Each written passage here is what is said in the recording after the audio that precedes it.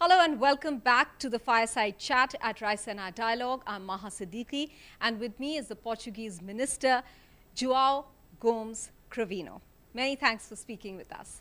Thank you very so much. So let's uh, immediately start with the questions that we have for you and a list of questions there, but first related to Ukraine. Uh, now, Ukraine has uh, asked for Portugal's help uh, for an EU membership bid. Uh, what kind of help can you render Ukraine at this juncture? Well, of course, uh, Ukraine is really in need of help from all of its friends. It has been uh, attacked without any uh, provocation uh, by Russia and uh, in a manner that threatens the European security order and has wider geopolitical implications also for everywhere, including the Indo-Pacific region. Mm. With respect to Ukraine's um, eventual future membership of uh, the European Union, unfortunately, you know, this is a process that takes a long time. Uh, Portugal itself uh, entered the European Union some uh, nine years after applying for its membership. I think that we really need to be focusing on the urgency of the moment. Uh, for a couple of reasons. One is that membership in the future of the European Union is something that does not solve the, the, the, immediate challenges. The other is that inevitably the membership process, the candidacy process, is one that is complex, it's controversial. There are always issues that uh, some member states are in favor of, others are not. I think that one of the most positive aspects that has come out of these uh, current uh, response by the European Union is its unity, its capacity to act as one. Mm. And uh, I think that the issue of membership of the Ukraine is one that is probably best left for a, a second a second moment. Uh, but the EU Commission President uh, Ursula von der Leyen, who had met uh, President Zelensky, indicated that uh, it is only a matter of time that perhaps the process can be hastened. Is that likely? Certainly, it is a matter of time but the time can be quite a quite a lengthy one. And I think that uh, as uh, we support Ukraine in its uh, bid to defend itself, defend its territorial integrity and its population, the question of um, the intricate negotiations of uh, European Union membership bid naturally have to take a second uh, stage. Hmm, okay. Also, you know, uh, when the president of Ukraine addressed uh, the parliament through via video conferencing, there was a standing ovation. Uh, however, the need of the hour, as you said, is pressing for Ukraine for some very critical, uh, uh, concrete issues at the moment, and uh, one such need is heavy weapons. Uh, is there some way in which that can be supplied to them? Is, is there some concerted effort to do so? Because uh, yesterday the Lithuanian side expressed its apprehension that it will be able to continue supporting Ukraine if help doesn't come from bigger countries like US, UK, Germany, France, because they need to fortify their own defenses as well. Yes, absolutely. This is happening. Hmm. Um, I think uh, all of us, uh, European Union member states, uh, NATO countries, uh, have been looking at our, uh, our stocks, our reserve, our capacity to supply Ukraine from the basis of uh, what we what we have and we're not using currently. And Portugal, amongst many others, has been supplying with all sorts of equipment, lethal, non-lethal equipment that uh, strengthens Ukraine's uh, self-defense uh, capacity. now the need of the hour is in fact for heavy weaponry. Portugal has taken uh, the decision to advance with uh, some with with um, uh, some armored personnel carriers and equipment that is uh, useful. Other countries are doing their bit. Germany yesterday announced that it will supply um, tanks equipped with uh, anti-aircraft capacity. And so uh, I believe that, uh, in fact, although not all countries are able to contribute, Lithuania has run down its stocks to a level beyond which it cannot go. Uh, other countries are facing similar challenges. Uh, I think that nevertheless, the Ukraine will, will find the support that it needs from uh, friends uh, such as Germany, France, and also Portugal will be there. Let's talk now about the fallout of uh, the war in Ukraine. And I want to talk first about the broader fallout uh, that uh, many are now questioning about the uh, global order that was in place uh, and also the global platforms that are in place since uh, World War II, for instance, the United Nations as well. Have they not been able to rise up to the occasion? is that global order as we knew it now in crisis? The global order has been very severely shaken, there's no doubt whatsoever. When you mention the United Nations, quite rightly, what we have here is a situation whereby uh, one of the founding members, a permanent member of the Security Council, brazenly challenges some of the most fundamental tenets of the international order, not invading sovereign countries, not trying to seek uh, borders changes through armed aggression. These are fundamental tenets that uh, Russia has uh, uh ridden over without uh, regard. And this would be grave from any country, but from a country that is a permanent member of the Security Council, the question that arises is is this leading the Security Council and the, the United Nations itself to become dysfunctional? We uh, are very, very strongly committed multilateralists. I've had a very interesting uh, conversation with uh, Foreign Minister Jaishankar, in which I sensed that India is also very much uh, concerned and uh, interested in doing what it can to strengthen the United Nations uh, capacity.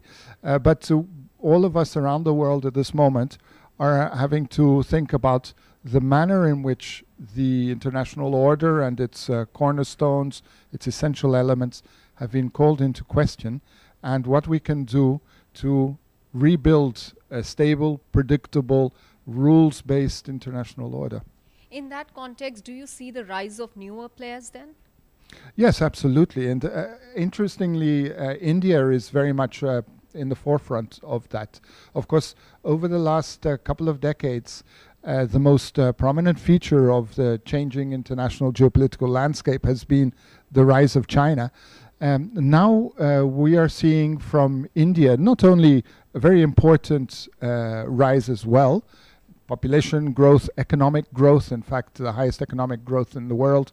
But we're seeing as well a new availability to contribute to the international order, to shaping the international order, rather than simply being shapen uh, by what is happening internationally. And we welcome that very much. We are very keen uh, in Portugal, in uh, the European Union, to um, create circumstances or contribute to circumstances whereby the future decades are not simply uh, two or two a two character story between the U.S. and China, but uh, also involve European countries, India, and in that sense, one of the aspects that has emerged most cl most clearly in the Raisina dialogues this year has been precisely the opportunities that this new changing geopolitical landscape create for closer uh, Indian and European Union interaction. So, uh, Minister, at the start of the war, uh, why did we get a sense here in India that the European countries were upset with the stand that India was taking at the United Nations, which uh, India said was a neutral stand? Uh, also, by asking for cessation of violence, uh, it said it was uh, doing what it should. I, I think that we all have to respect each other's points of view. And I have lived in India before. I uh, very much uh, appreciate this country, and I've read a lot about uh, Indian history, politics. I know very well the relationship that developed over decades, many decades, since India's independence between India and the Soviet Union, first India and Russia. This cannot be swept under the carpet in one day. We understand this and we appreciate that India is a country that has a capacity to engage with Russia. Um, having said that, of course, our uh, own position is that Russia should be condemned internationally, and we have done our part. We know that uh, ultimately uh, India and uh, Portugal and India and the European countries share fundamental values and concerns about the international order, but have different ways of uh, seeking to contribute to international order. And uh, we appreciate that, and we're very happy to engage strongly with India uh, on the Ukraine issue, but on so many other issues beyond that as well. In the backdrop of the Ukraine crisis, how do you see uh, the India European Union uh, engagement now going further down? Well, I think that uh, one of the things that has happened is that the European Union has uh, had a very significant strategic shock. Uh, actually, this was already happening with, uh, with the COVID pandemic. And uh, as a result, is beginning to think strategically, act strategically. And that makes it a more interesting partner for uh, India as uh, we all seek to deal with a world in which China is rising, in which Russia is acting like a rogue state, and, uh, and therefore the basic uh, tenets, parameters of our uh, international system are being changed. I think that with the challenges uh, of our societies over the next few years, challenges relating to digitalization, for example, to new connectivity challenges, to uh, issues of dealing with climate change, we're going to find a range of issues where both India and the European Union find it imperative to be working closely together. So the circumstances internationally are not good ones, they're not favorable ones, but sometimes out of unfavorable circumstances you do get positive outcomes as well. And I think one positive aspect is certainly the India EU relationship. And do you see the the trade aspect uh, between the two sides going uh, further ahead in terms of a possible possible deal? Well, I w- can classify myself as a veteran observer of the EU India free trade negotiations, having been involved for, for several years, uh, knowing the history. And, um, now, what I am sensing is uh, a renewed dynamic. Yes, it's not the first time where we've had our leaders say, you know, we have to do this. But I believe that now, now they are doing it with great conviction for two reasons. The economic reasons, I think, are becoming more strongly apparent to both sides. More importantly, still, there is a strategic underpinning to the thinking on each side that uh, I believe is going to function as a, as a strong um, motivator. And so uh, I believe that uh, on both sides now there has to be a significant effort in the understanding that we should not just be involved in bean counting, in the nitty gritty details which are inevitably a part of international trade negotiations, but, uh, but that we should be capable of fitting this into the wider picture, whereby both sides have a lot to gain from concluding a deal. Do you think the Porto summit helped uh, give some sort of direction to India EU engagement, considering that uh, in the backdrop we had seen uh, some hurdles? You know, if I can point out one issue, uh, would have been Kashmir, human rights. Uh, those issues, have they been ironed out? Well, inevitably, between uh, European Union countries as a whole and, and India, there will be issues in which we don't see eye to eye on some aspects.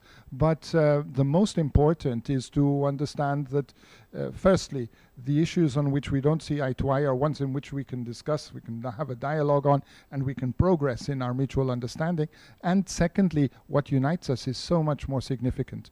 The Porto Summit was a very important one because it was a summit between the European Union and all of its 27 member states and uh, Prime Minister Modi. And this was the first time we've had such a format. It's a format that clearly recognizes the international relevance, uh, the very significant international rele- relevance of, of India. It's a format that doesn't exist except with the United States and with China. And so for India to have uh, reached that uh, level of, um, of, of, uh, of, of relevance in the European mind, this is something that our presidency, the Portuguese presidency of the European Union, sought to promote and to bring to the understanding of other member states.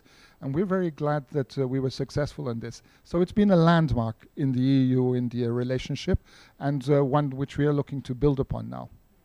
That'll be all, Minister Cravinho. Many thanks for your time. Thank you very much.